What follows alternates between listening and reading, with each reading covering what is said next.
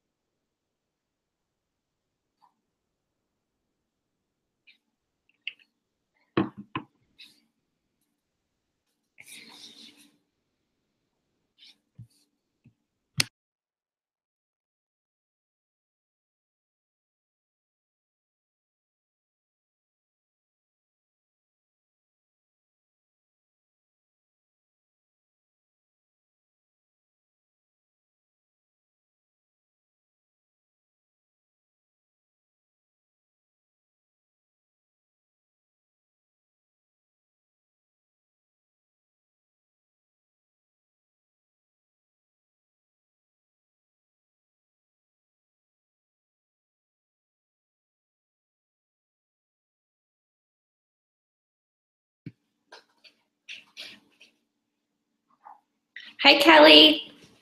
You just texted me, so I know you're on here. I'm gonna wait probably just a few more minutes, just let a few more people get on. I know some people are having a little bit of struggles. yes, you can text me questions. That's fine.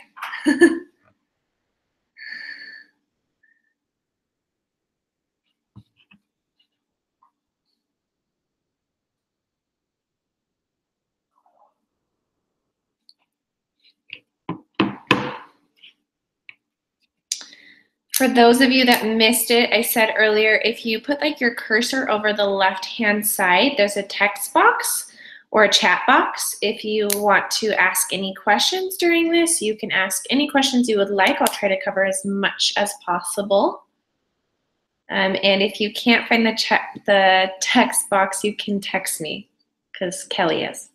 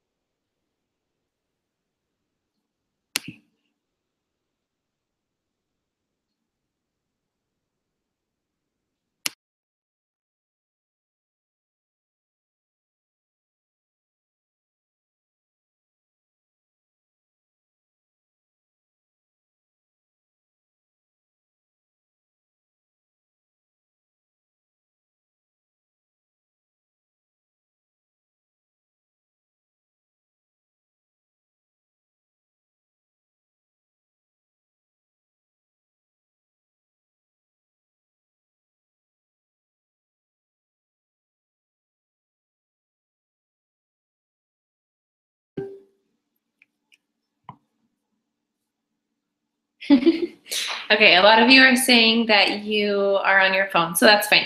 If you have questions, I'll try and keep my phone next to me, um, and you can um, message me on the Facebook group, or um, if you have a number, you can text me. Um, but I'm going to start.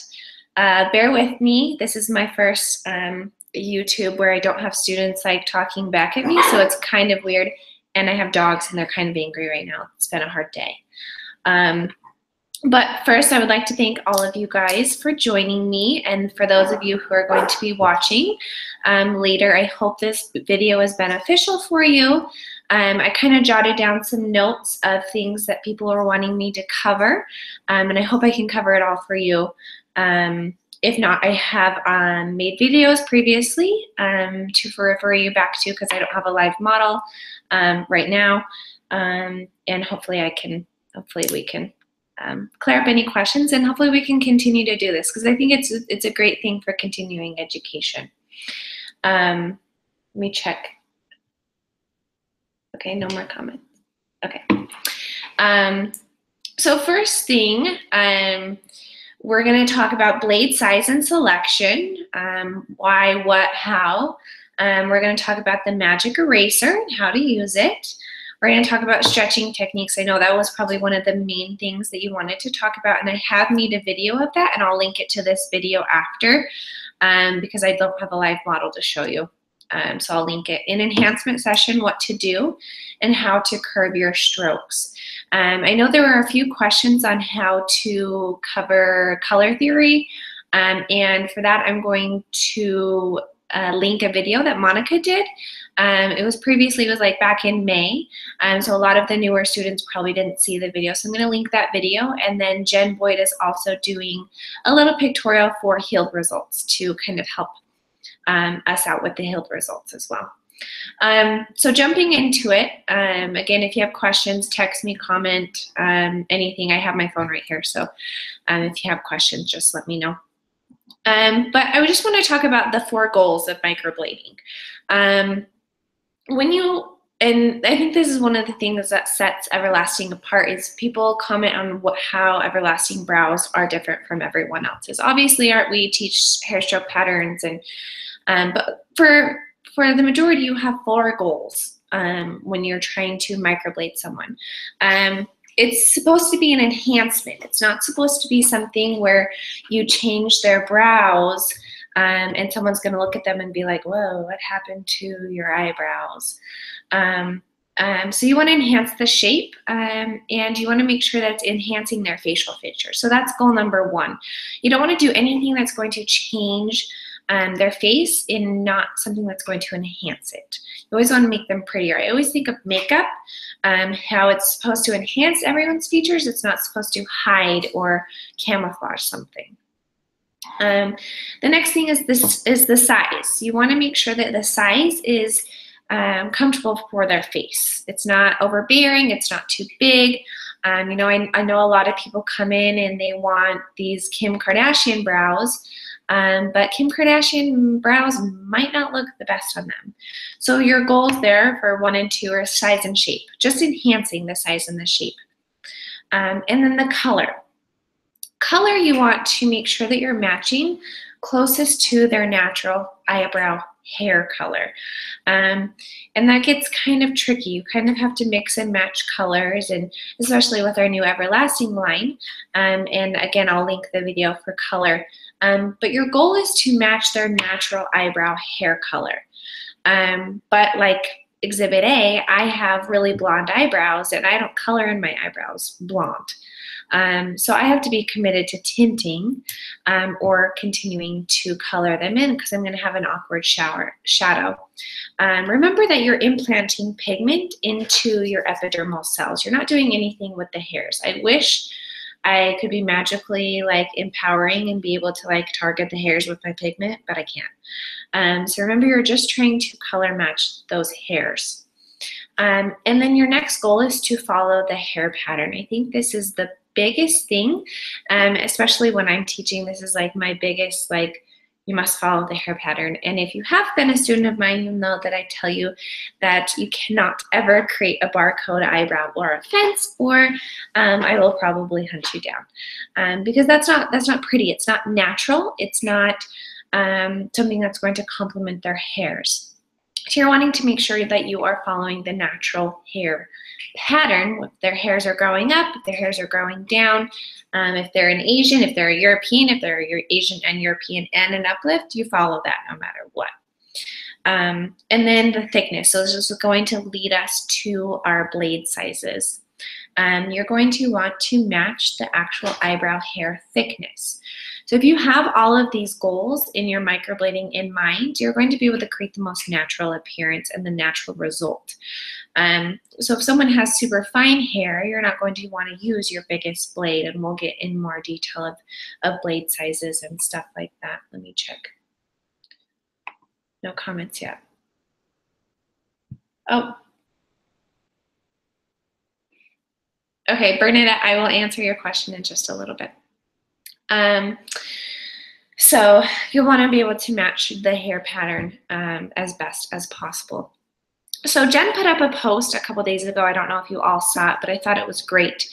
Um, and it talked about what blade sizes to use. And it, it is it always is really kind of confusing of how to use blades because we have so much selection. But I think that's the beauty of Everlasting is we do have so much selection because eyebrows are never a one size fits all.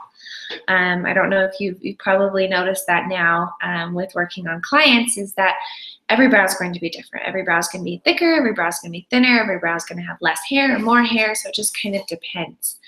Um, so with your blade sizes, um, and I'm gonna, this is gonna be like kind of blade sizes for dummies, um, just so I can teach it to you all brand new again. Um, so I'm sorry if I'm reiterating things and you're like, Sara, come on, like I get to the point, but I just wanna make sure I'm covering everything. Um, so your blade sizes, first off, we have um, our C blade. Sorry, my dogs.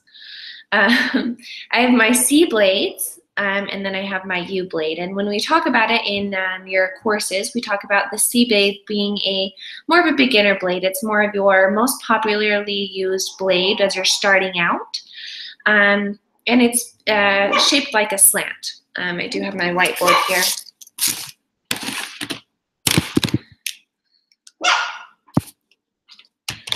Um,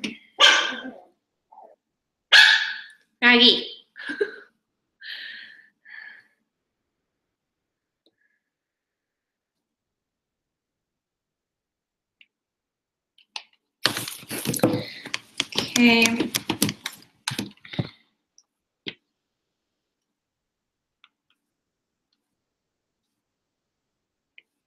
Okay, so we have our slanted blade. Sorry, I'm not an artist on whiteboards. Um, but we have our slanted blade, which is called a C blade. Um, our C blades come in sizes uh, 7, 9, 10, 11, nope, not 10, 11, 12, and 14. Um, and so why would I use a 7 versus a 14? Um, one analogy, I'm really big on analogies. One analogy I really like to think of is, um, and I'm not sure if this is from Melissa or Monica, I think it's a little bit of both, but thank you guys for this analogy, um, is it, you're trying to park a semi versus like a compact car. Um, it's going to be a lot harder for you to curve in the semi than it is to curve in or park the, the compact car. Um, so um, up on Jen's post, she said thin brows, you want to use blade size 7 to 9. Um, 7 being the smallest and 9 being the largest. So if I have a teeny, teeny little brow, um, you want to be able to have room to curve. Um, and what I mean by that, if I have just a small little space,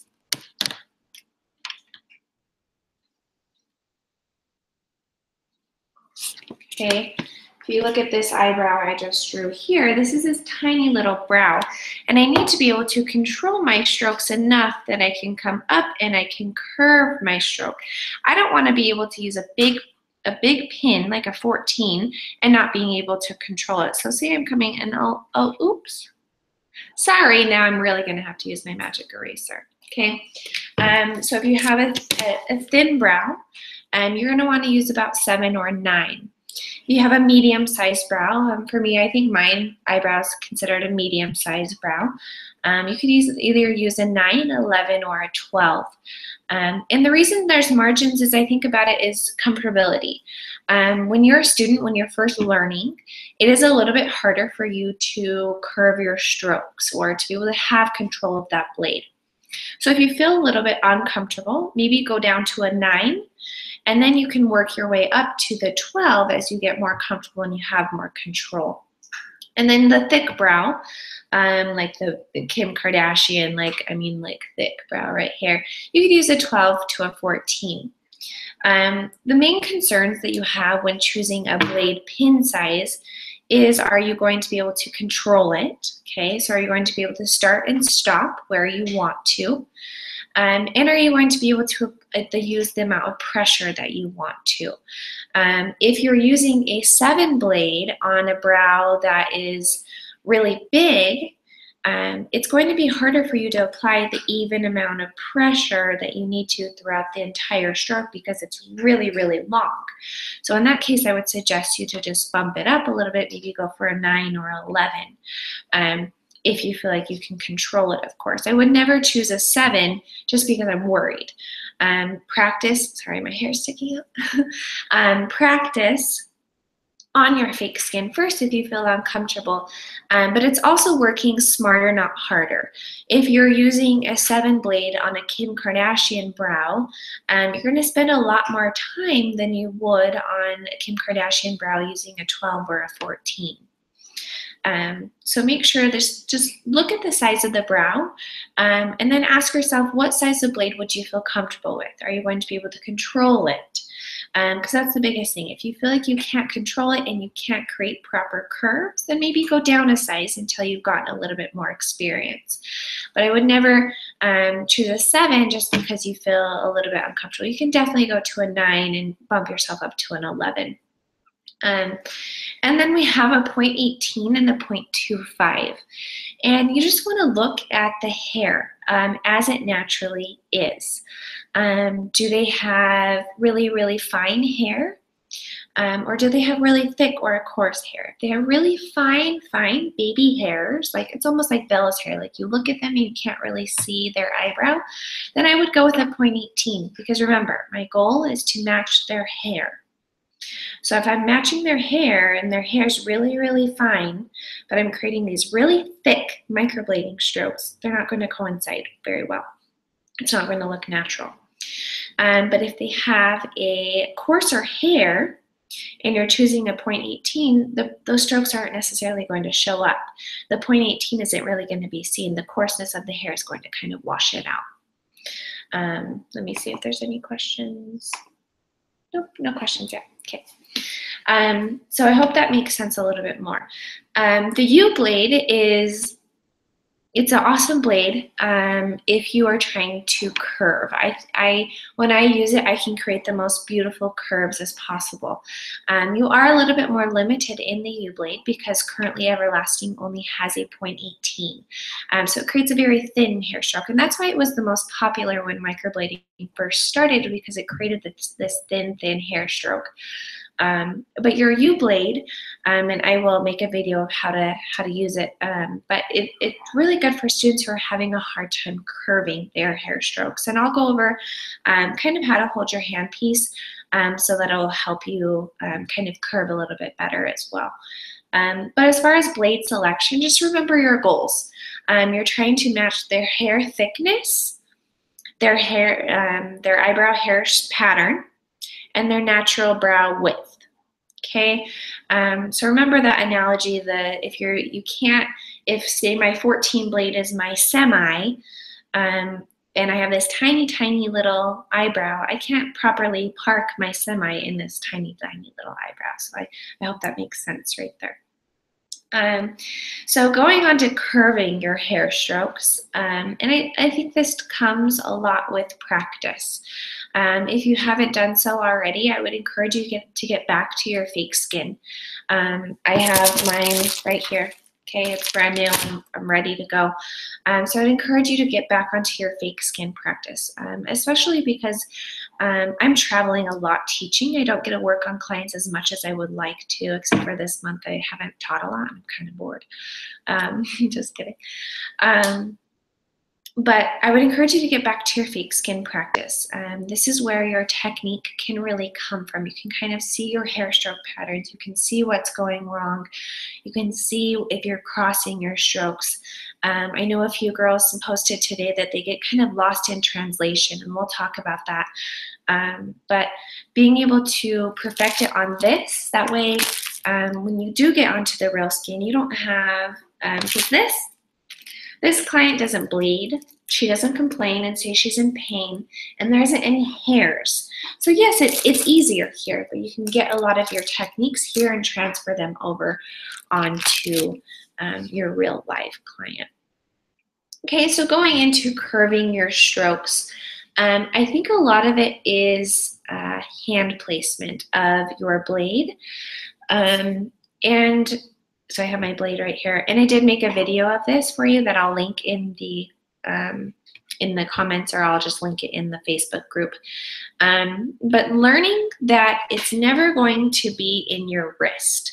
Um, I'm sure you've watched several microblading videos at this time of um, amazing artists like Tina Davies and um, Rita Roma, and um, if you'll you'll realize that it's never in the wrist. Um, but one trick that I learned from Jen, who is my best friend, I love you, Jen, um, is holding, uh, well, and I said this in your video, um, but remembering that your handpiece is no longer a pencil. I know in training we have you start out with a pencil because we can't give you a blade and like tell you, you know, have fun, good luck. Um, but I hold my pencil like this, like I'm just, you know, writing. I need to hold my blade straight up and down. And one thing that changed my microblading was the way that I held it. So, um, and I'll, again, it's in a video and it, it's with an iPhone 7 and it's amazing. But um, is I'm pinching my thumb and my um, middle finger together and then my pointer finger here is kind of assisting. Um, and knowing that your curves are never going to come from your wrist. Your curves are going to come from your sliding motion in here. So I challenge you to go and try and hold your handpiece like this. It will feel very, very awkward to you at first, but this really is what helped improve my strokes and my curves. Um, and I owe this all to Jen Boyd. So thank you, Jen. Um, and I hope you don't mind I'm sharing your secret. Um, but holding your handpiece like this and then remembering that your curving is in a motion movement like this. It's never in your wrist. Okay, and again, I have a video of this to demonstrate because I know this isn't the best quality here. Um, let me see if there's any questions. Oh, someone just asked just how much I charge for microblading, but I don't think they're watching. um, the next thing um, that a lot of people asked about um, was how to stretch the skin. Um, and I did make a video of this as well. Um, but I think one thing also, the way that I hold my handpiece now, is I also have my pinky free. Okay, um, so no matter what, I'm always stretching with my pinky, and then I have another hold. Um, you need to have a three-point hold on the brow at all times. Um, and again, it's in my video, so it's going to be a lot easier to explain. But one of the biggest mistakes that I see students make is they're not holding the skin tight or taut enough. Um, if the skin, if you are blading, I'm not, I'm going to use the opposite side. Sorry, guys, I don't really want to blade my eyebrow. But if I'm blading and my skin's moving up with my blade, I'm not holding the skin tight enough. Um, so wherever you are, you need to make sure that you're holding the skin taut in the place that you are microblading. A lot of times I see students holding skin taut here, but they're microblading here, but it's not holding this skin area taut. So making sure that you're holding one two, and then I always hold three with my pinky, and it's it's demonstrated better in my video that I'll link afterwards. Um, but no matter what you do, make sure that you're holding the area that you're working top, because if you're microblading here, but you're holding the skin out here taut, this area is still going to move.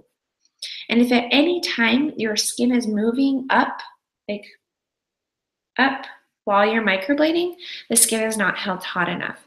Um, and you won't be hearing that scratch, scratch, scratch. Um, also making sure that you are holding um, your hand piece right. And again, this is in my video and I, I hate to be like repetitive.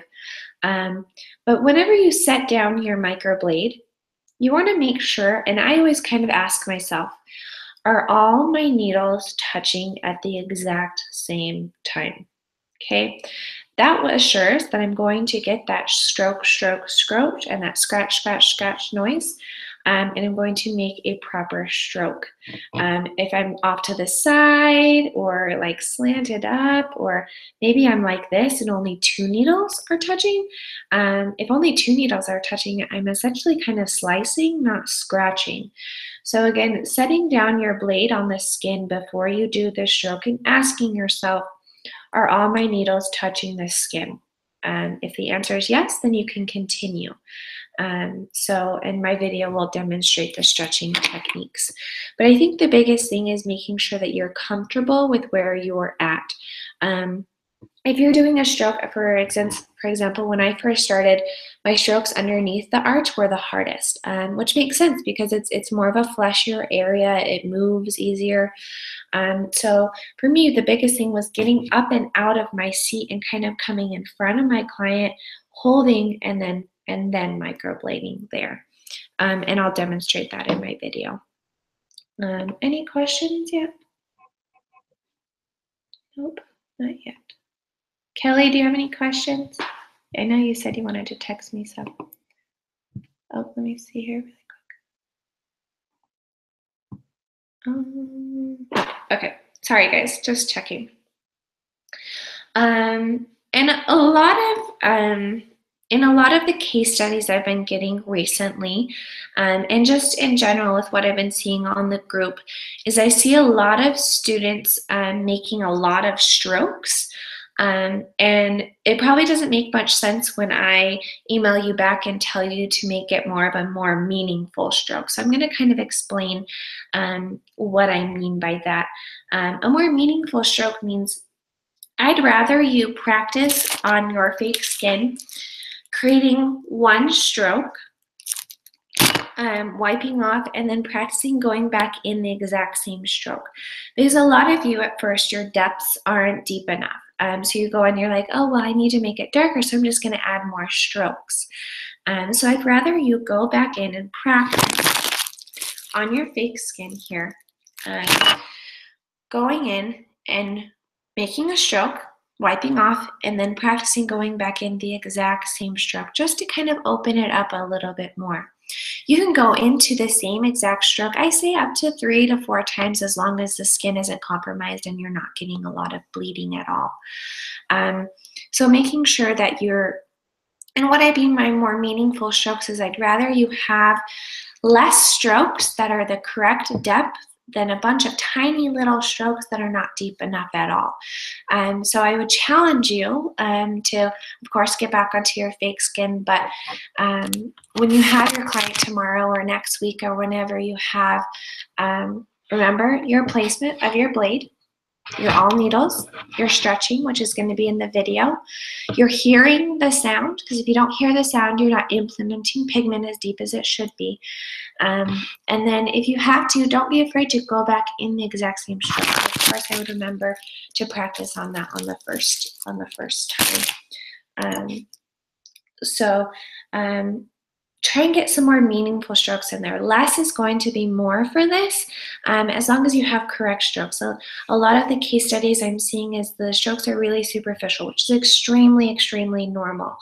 Um, I'm going to be really real with you. It, it probably took me um, 20 to 25 clients um, to be able to feel like I was getting the correct depth.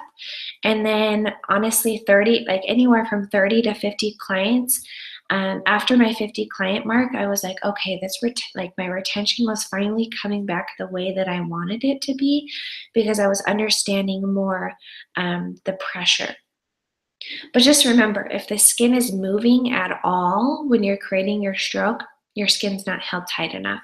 Um, and you're probably, for that reason, you could be going deep enough, but it could be a little bit more jagged, or you could not be going deep at all. Um, so focus on that the next time you are using your client. Um, let's see, uh, let's go over uh, the Magic Eraser.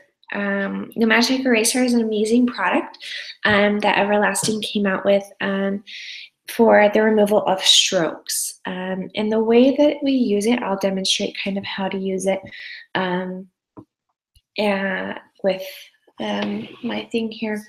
Um, but the one thing I want you to know with the Magic Eraser um, is to not use it as a um, handicap. I think a lot of students are nervous. Of course you're nervous. This is a face. This is like a real human, human being. Sorry, my dog.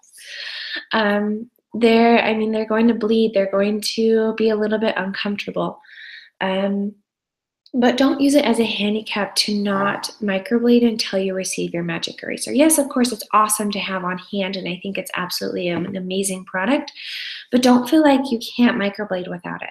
Um, because that wasn't a thing when I started microblading or when Jen started microblading. Um, so remember that it is it is okay, um, but just aim for, you know, trying um, to not make those mistakes. As long as you are focusing, and I, I, think some students get a little bit lost in translation. We'll talk about that.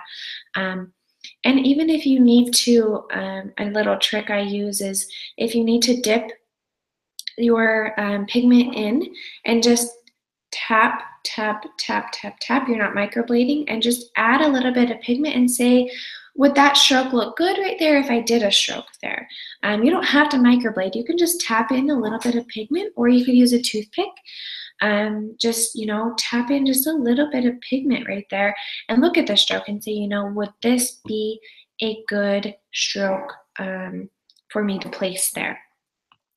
Um, also, and I just got off topic of magic eraser and I'll talk about it, I promise. But um, also remember that you're creating a proper skeleton. Um, your skeleton is um, is your bones of your body. Um, that's what's going to tell your future self where to go and what to do. So if you don't have a proper skeleton, you don't have the strokes telling you you're starting, you're arching, you're ending, your your tops and your bottoms, then of course you're going to get lost in translation. Um, so making sure, I mean, even if you have to add two extra strokes to your skeleton, um, do that because that will be better for you in the long run. But remember, your skeleton is there to be able to kind of tell your future self what to do next. Um, so it's kind of leading you in the next direction. In a sense, it is kind of connecting the dots. Obviously, you're not going to be connecting your strokes, um, but it's going to be um, telling your future self where to go and how to go. Um, and remember that your transitions are all, if you're curving, you need to continue on with that. Sorry, my hands don't curve that way. You need to continue on with that curve. You can have one curve here and one straight up here. Okay. Um, so skeleton in your body. Um, uh, to comment on the girls who were saying they were getting a little bit lost in their strokes, um, I would just encourage you if at any point you can't see where you're going to just wipe it off. Um, if yeah, if the pigment hasn't been sitting on there long enough, um, it might not penetrate as deep, but you can always do a pigment push towards the end. But if at any point you can't see where you're going, get your water wipe or get your dry gauze and just kind of wipe off a little bit. That way you can see where you're going. Also, don't be afraid to um, use your microblade, and this is scary, but you can kind of like brush away the hairs, kind of move your hairs out of the way. That way you can create a proper stroke. Um, never microblade blind. So if you feel like you're getting lost, do anything you need to do to be able to create that clean picture of where you're going to place the stroke. Yeah, it's hard when people have really coarse hair, but that's when you're just going to kind of have to learn to move out that hair and then place your stroke, and then the hair can go back to where it is. Um, I have used, I have seen some people use um, spoolies and that's totally fine. Just be careful because it could be a really sensitive area. Um, and when you're brushing with a spoolie it could not be very comfortable. Um, so be careful when using a spoolie. Okay back to the magic eraser. And i'm i don't i don't mean to rush. I just don't want to keep you guys for eight hours even though it did say i could it could i could broad, broadcast live for eight hours. So that's a really long time. Um, so the magic eraser. Um, like I was saying, you can um, just don't use it as a handicap. It's going to be there um, to use it. So, um, and there is a post that Kintia put up about the magic eraser if you have more information about it. Um, but if you uh, say you created my stroke like this, my oops stroke, um, I thought I was gonna want to go there, but I don't really want to go there anymore, and I don't want it there anymore.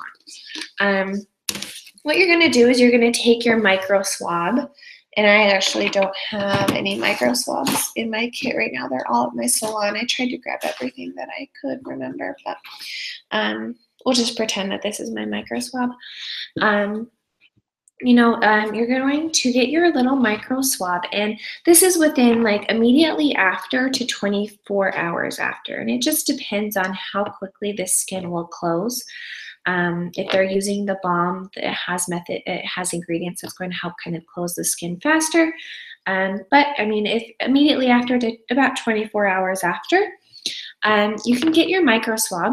We're, we're pretending this is a micro swab. Sorry. Um, you're going to get your micro swab.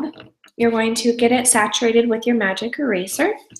And you're going to just kind of scrub on that area here. You want to make sure you're kind of agitating it. Obviously, you don't want it to um, get so upset that you're, you know, damaging tissue, which you never would. It would be, it would be in, almost impossible. You're just going to kind of scrub and agitate at that stroke that you don't want anymore. Um, the area around the skin will turn a little bit white, and sometimes people that freaks people out a little bit. Um, but if it turns white, that means you're, using it properly. Um, you do want it to kind of turn white, and you do kind of want it to kind of get a little bit of a little bit agitated to kind of push out that pigment. Um, even if it bleeds just a tiny little bit, that's actually a little bit good because it could help push out the pigment. So you're to kind of go in and agitate the little stroke. Um, I would be cautious in using the magic eraser on the whole entire brow at the exact same time. I would kind of take it a stroke by stroke basis. Um, so if um, for that, you can kind of use it immediately after to 24 hours after. Um, if and you're gonna, it's it says that you'll get about 90% removal.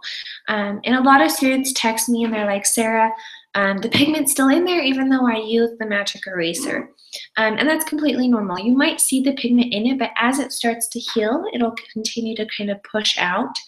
Um, and, and, it has a 90, percent success that it's not going to heal with the pigment in it. Um, and if it does, there's things that we can do about it as well. So don't stress. Um, so that's in your 24 hour range. Um, anywhere from 24 to 72 hours range, depending on if the skin's super closed or not.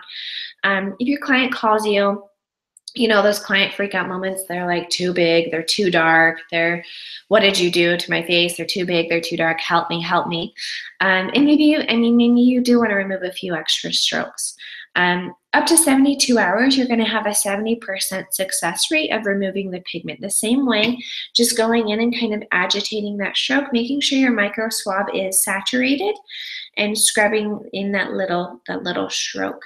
Um, if the skin is closed off, um, obviously it's not going to penetrate. It's not going to turn as white as you want it to. Um, that gives you the opportunity, um, it says about three weeks. Um, and again, there's a post that that talks about this more in depth that Kintia did.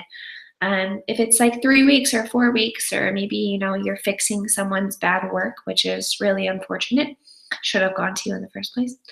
Um, but you could actually get a little bowl um, or uh, a little cup, and you could dip your blade physically in the magic eraser and scratch the skin open and then you can go back in and do your micro swab. And that, that has about, um, I think it said about a 40 to 50% success rate, just depending on obviously their skin types um, and their skin condition, and obviously how deep the original technician went or you went. Um, let me check for questions. Oh. Okay, so someone just texted me and said, I'm watching and wondered is the curved blades any different than the CNU? I think I seen them with the Tina Davies line. Um, curved blade is just a C blade. Um, so in the Tina, Tina Davies line, she does have a C blade and a U blade. It's just called the curved blade or a U blade. So same thing. um, yeah, it's so exciting that we have those disposable. They are amazing. Um, and it's also amazing that she's coming to lecture at the conference. I hope you're all are there. Um, let's see, I don't see any more questions. Oh, there you go. Okay. Um, so I hope that answered the questions for your magic eraser. Um, again, I haven't made a video for that, but we can. Um, I would probably just have to create a stroke on someone I didn't want, which is fine. We can do that. um, and then the last thing I'm going to talk about um, is the enhancement session. I know a lot of people asked about, um, and sorry, there's an annoying fly. Of course, this happened like right before I started the video, but it's okay. Um, the enhancement session um, or the perfecting session. Uh, I prefer to call it the perfecting session or the enhancement session because to me, um, a touch up sounds like I'm fixing something and um, I'm generally not fixing my work. So I like to think of it as an enhancement or a perfecting session, or if you're in the UK, you can call it a top up because I love the word top up. Um, but your enhancement sessions um, are just that. Um, you've created your template. You've created your first session. Um, and as you're beginning, I, I, think a lot of students are really hard on themselves because they're not getting the retention that they want. Um, but remember that you're just starting and it takes tons and tons and tons of fake skin practice and real human being practice to be able to get that retention. Um, like I said, it was probably like 40 to 50 range until I got my retention coming back every single time and it, like I knew that my retention was finally going to be at the point that I wanted it to be. And it, that's just I mean it took practice and it took time. Um, but with your enhancement session um, one question I got asked was um, do I need to pre-draw? Um, generally, no, you don't need to pre-draw again unless you don't have any idea where you're going. Again, if you have no idea where you're going and maybe their skin didn't take it, um, as well, or maybe you know your strokes might not have been deep enough. Um, you can um, you can go ahead and pre-draw again. Definitely, if you have no idea where you're going, pre-draw again. Um, there's nothing worse than again uh, microblading blindly or not knowing where you're going. Um, so yeah, if you need to pre-draw again, go ahead and pre-draw again. Um, the reason I like to think of it as an enhancement session or a perfecting session is because you're just enhancing or you're just perfecting strokes that um, you have already created. So whatever you need to do in that session um, to enhance or to or to um, perfect. So maybe a stroke didn't wasn't as dark as you want it to be. So maybe you're going to go back and add a little bit more pigment to darken it up. Um, or maybe it wasn't as long as you want it to be, or maybe um, I didn't use enough pressure down towards the bottom, so only like half of my stroke stayed. So I need to lengthen my stroke. Um, or maybe I need to kind of create a little bit more of a curve on one of the strokes. Um, this session is a time that you can do anything to perfect or enhance it. Um, so if you need to go darker, a lot of your clients are going to be a little bit weary to go dark right off the bat, even though you know you are the professional and you know what you will recommend. Um, but if they maybe they're going to come back and they're like, yeah, I, I do want to go a little bit darker.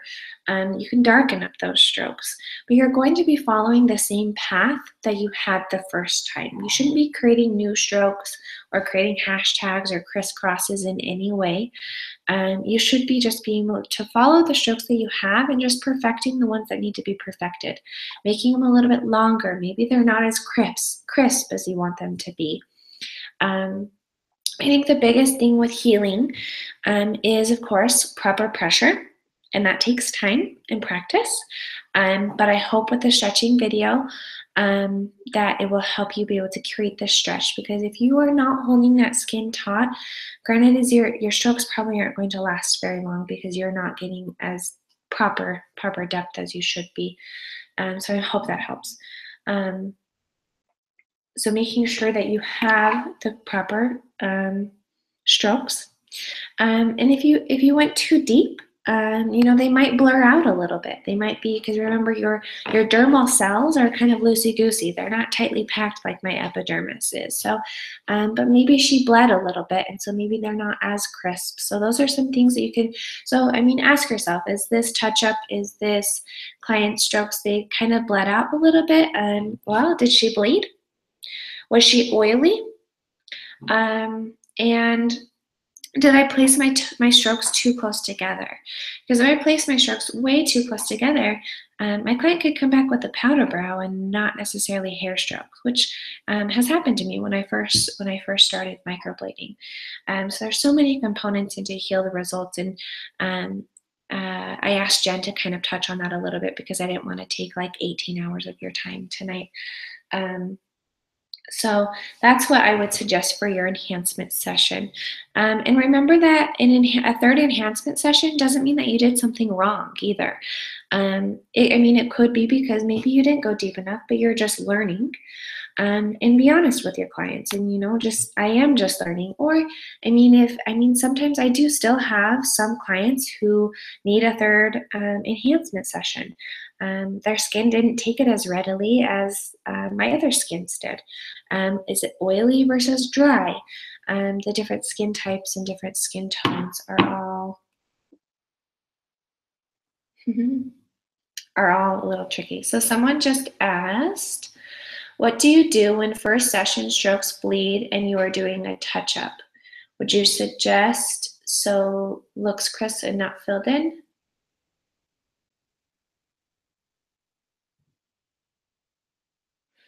So I'm kind of confused by that question. Um, what do you do when your first session strokes bleed? So obviously blood, uh, I mean, people bleed. Um, they're human. They have hair. They're, you know, um, they're a human being. So blood isn't necessarily uncommon, but you only want like tiny pinpoints of blood. So if they are pooling at any point, um, then it is too much blood. But if you could kind of clarify that question a little bit, and you were doing a touch up, would you suggest so it looks crisp and not filled in? Yeah, that's kind of, I don't know. That can a little confusing to me. Could you just text me and let me know what you really mean by that question? Um, but I mean, some of your clients are going to be bleeders and some of them aren't. It's extremely, extremely normal for that. Let's see. Okay. Um, let's see. If anyone has any more questions, um, go ahead and throw them out to me in like the next minute or two. Um, I didn't talk too much about color um, because I am going to link a video that Monica did about color theory um, that I think some of you might have missed. We posted it back in May. Um, so I'm going to relink that video for you guys to watch. And please just make sure not to post any of the videos um, anywhere outside of the Everlasting group because this is just for continuing education for the students who have already been trained. Um, we went over blade sizes, magic eraser, stretching. I will add, link my stretching video that I made. Um, enhancement sessions, we talked about that. Curving your strokes, Magic eraser. Okay, I think we've covered everything. Um, but I would like to thank all of you um, for listening to me ramble on and on. And I hope this was helpful for you. Um, if it wasn't, or if there wasn't something that I touched on, please feel free to message me or text me or email me. Um, we can definitely do these webinars again. I think it's a good experience for all of us to be able to kind of brush up on our techniques um, in our materials. One thing I would encourage you to do is you have a wealth of knowledge sitting um, in your bedroom or in your kitchen, um, and that's your manual. Um, I would I would challenge and encourage all of you to go back, pick up your manual and read it. Um, read it cover to cover because it really is an amazing manual. Um, the curriculum that is in it um, is amazing. And if you read it cover to cover, I promise you that some of the questions that we get asked on a daily basis will be completely clear. So I would challenge you to be able to use that manual and use that wealth um, to be able to expand upon your knowledge. Um, of course, um, I'm always here for you. Jen is always here for you. Alyssa is always here for you, and so is Tori. Um, and uh, I would just like to invite all of you and encourage all of you to attend the conference. Um, it's really going to be absolutely amazing. Some of the speakers that they have are like some of my idols, so I'm like all giddy about it. Um, but this is a time to advance in your careers and advance in your knowledge. Um, these are, is a time to be able to learn from those who um, we don't normally get to learn from. I mean, you can't fly to Canada and learn from Tina, and you can't fly um, anywhere out there, you know you can. Um, but this is all in one location. So i'd encourage you to sign up if you haven't done so. If you need more information let me know and I'd be happy to provide you with information about the conference. Um, I will be lecturing, Jen will be lecturing. Um, it'll be an awesome experience, so I'd encourage you all to be there. Um, please let me know if any of you have any more questions or if something wasn't clear. Um, thank you.